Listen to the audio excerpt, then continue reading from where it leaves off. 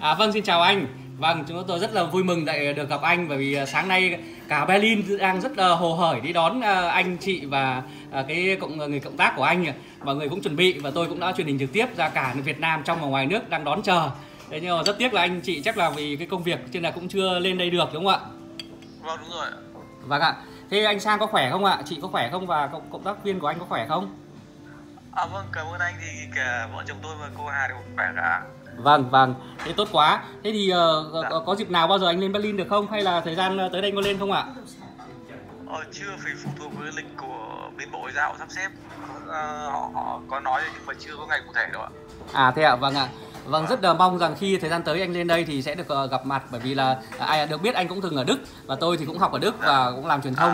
Vâng, rất là trong cái thời gian anh trong tù thì tôi cũng đang rất là nhiều những thông tin ờ, của bên phía chính phủ Đức họ ủng hộ về cái việc là đưa anh sang ờ, bên này và mong rằng là anh có sức khỏe để sang tiếp tục cái công việc tiếp theo. và vâng, mừng quá. Dạ. Thế anh sáng nay anh xa đấy thì có nhiều người đến đón không ạ?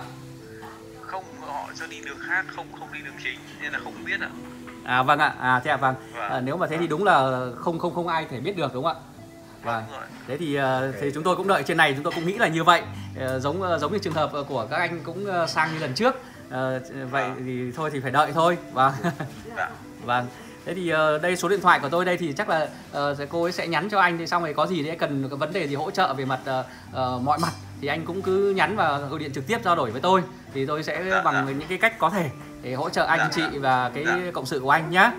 Dạ dạ dạ. Vâng vâng. Thế cho, cảm tôi, cho tôi nói chuyện với, với chị. đấy. vâng vâng đây chị nhá. em ờ, em nói chuyện với anh